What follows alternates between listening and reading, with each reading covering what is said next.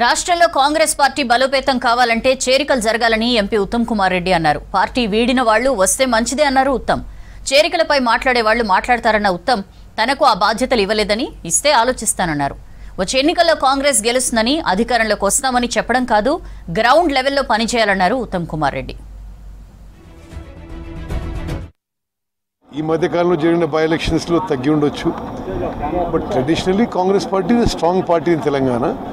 Karnataka elections తర్వాత Congress cadres leaders వర్కర్స్లో కొంత ఆత్మస్థైర్యం విశ్వాసం కాన్ఫిడెన్స్ పెరిగిందని చెప్పి కూడా స్పష్టంగా అవపడుతుంది.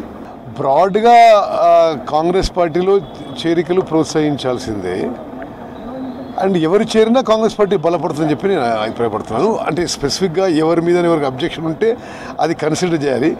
రెండు వేల ఇరవై మూడు నవంబర్ ఎలక్షన్స్లో తెలంగాణలో కాంగ్రెస్ గెలిచే అవకాశం ఉంది కానీ నేను ఒకటైతే అప్పీల్ చేస్తున్నా. గెలుస్తుంది గెలుస్తుంది ఉట్టిగా గాలికి తిరిగితే కాదు.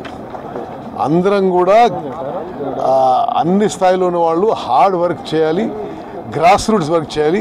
కష్టపడి ఎవరికి వాళ్ళు నియోజకవర్గాలు కష్టపడి జనంకి అందుబాటులో ఉండి పనిచేస్తే కాంగ్రెస్ పార్టీ గెలిచే అవకాశం ఉంటుంది. నాకు అటువంటి బాధ్యత ఎవరిని ఇస్తే చేపడతాను. ఇప్పుడైతే నాకేం బాధ్యత ఇవ్వలేదు కాబట్టి నా పని ఏదైనా